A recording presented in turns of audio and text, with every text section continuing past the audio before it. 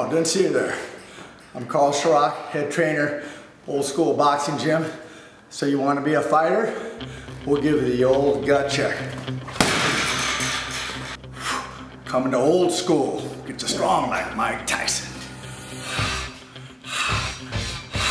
Ladies, boyfriend stressing you out at home? Huh? Creating havoc in your life? We have Bob here, you can get all your aggressions out of him. Pow! Want good cardio, we have that for you too.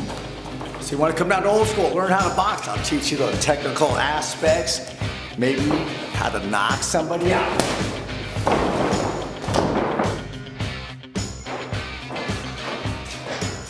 So you want to get the workout of your life? Come down to old school boxing and give it a try.